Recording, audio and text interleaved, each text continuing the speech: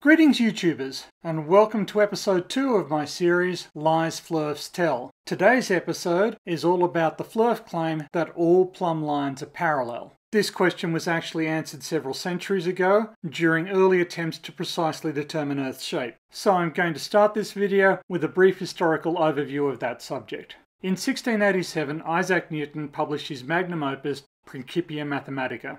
This publication inspired scientists to apply Newton's results and methods to as yet unanswered questions, one of which was the shape of the Earth.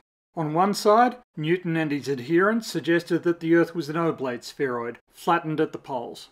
The alternative position was that the Earth was a prolate spheroid, flattened at the equator. This view was held by a family of French cartographers called the Cassinis and none other than Rene Descartes.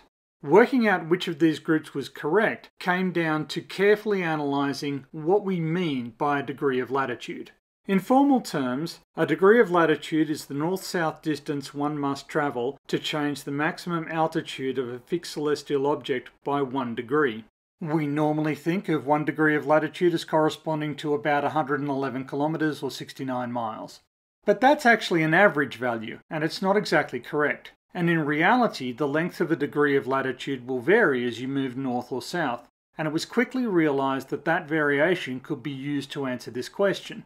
If Earth is prolate, then angles of altitude to celestial objects change most quickly at the poles and more slowly at the equator, which is to say that degrees of latitude will be shorter at the poles and longer at the equator. If the Earth is oblate, on the other hand, the situation is exactly reversed. So, to answer this question once and for all, the French Academy of Sciences decided to send out two expeditions. One under the leadership of Anders Celsius, yes, that Celsius, and Pierre Maupertuis to Lapland, and a second under the leadership of Pierre Bouguer and Charles de la Condamine to what is now Ecuador. It is this second expedition, which was actually the first to depart in 1735, that we will be concentrating on. Formerly, the expedition was under the leadership of Louis Godin, but his main contribution seems to have been to spend most of the expedition's original funding in a Caribbean brothel. The worthwhile science that the expedition undertook was spearheaded by La Condamine and Bouguer. Godin's cousin, who was also on the expedition as a mapmaker, would marry a local woman called Isabelle, she would later become famous for slogging barefoot and alone through the Amazon basin to try and reunite with her husband, and her story is genuinely extraordinary and the subject of multiple books. I can't even begin to do her justice here, but please do read up on her. It's well worth the effort. But I digress. The expedition's plan was to map a transect from Quito in the north to Cuenca in the south, and meticulously triangulate this transect to determine the length of a degree of latitude. Rather optimistically, they initially estimated that this task would take about six months. But the ruggedness of the topography and the harshness of the climate meant that it ended up taking them 10 years. While these delays were intensely frustrating, they gave the group time to consider other scientific problems. In particular, Bouguer was fascinated by a particular problem in surveying. There are two ways to determine the location of a given point on Earth's surface. One is to take careful angular observations of the elevation of celestial objects at particular times, and the second is to calculate the position of the target using surveying techniques.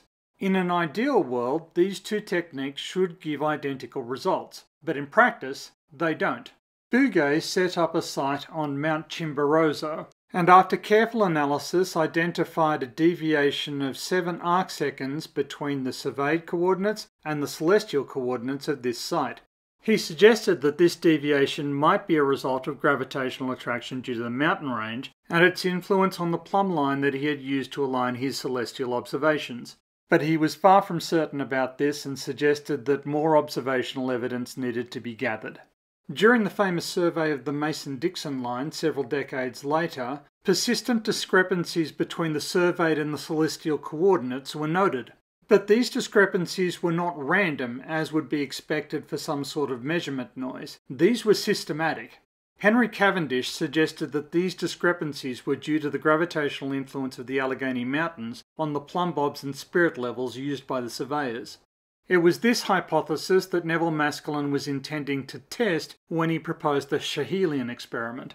In this experiment, he was able to demonstrate that the discrepancy between the celestial and the surveyed coordinates acted in the opposite sense when the apparatus was moved to the other side of the mountain.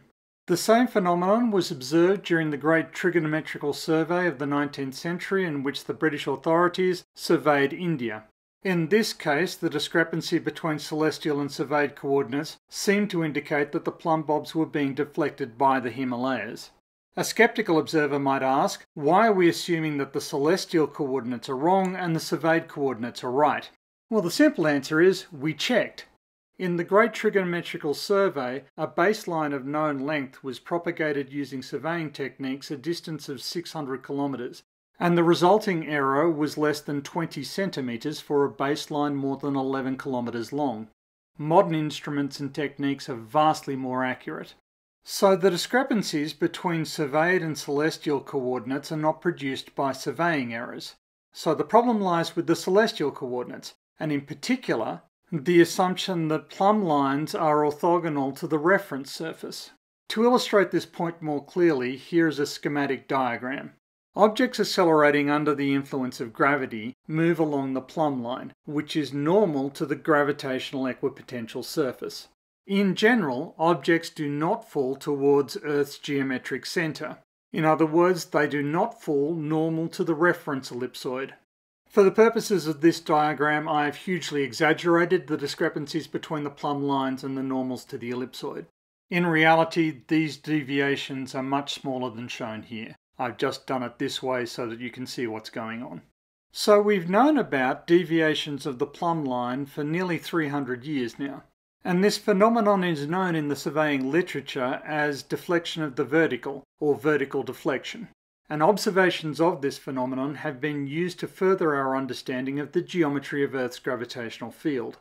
We can further demonstrate that these deflections are due to gravitational effects by using gravimetric instruments to measure the gravitational field where these deflections are observed. The reality is that we don't need anything so sophisticated to demonstrate that plumb lines are not parallel. If plumb lines were parallel, then reciprocal zenith angles accurately measured between two survey monuments would always add up to 180 degrees. In reality, we observed that reciprocal zenith angles between widely separated monuments always add up to more than 180 degrees. This single observation simultaneously proves that plumb lines are not parallel, but also that Earth cannot be flat. Again, this is well understood in the surveying literature and widely applied. I'm including a handful of references here just to rub it in the faces of any flat earthers who have made it this far. But the reality is that any discussion of reciprocal zenith angles that I could provide would be pathetically shallow compared to the analyses that have already been done by Jesse Kozlowski and Blue Marble Science. I'm pretty sure that anybody who's reached my channel is already aware of these two titans of the debunking field, but just in case I've put some links in the description. So that might be about it for this discussion. In summary, in this video I showed that for more than 300 years we have been aware of gravitational deflection of plumb bobs. In surveying literature, this is known as vertical deflection or deflection of the vertical, and it has been studied meticulously. This alone is sufficient to demonstrate that the claim that all plumb lines are parallel is simply false. To this we can add the observation that accurately measured reciprocal zenith angles between widely separated monuments always add up to more than 180 degrees, Another reliable, repeatable observational data set that directly contradicts the assertion that plumb lines are parallel. So the next time you hear a flat earther spewing this nonsense, you'll be in a position to demonstrate that they're talking out of their ass. Okay, so that's where I'm going to call it today. Thank you so much for watching, I really do appreciate it, and I hope you'll join me next time when I'll be discussing the next flat earth lie, sea level is flat.